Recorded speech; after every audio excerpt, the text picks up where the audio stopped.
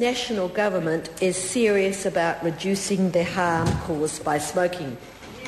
And we believe that it's vital that we do more to help people quit smoking.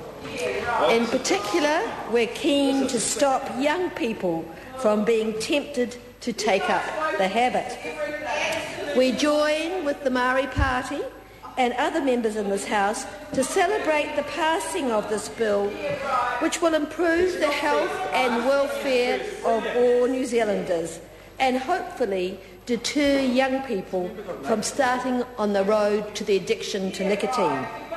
I commend this bill to the House.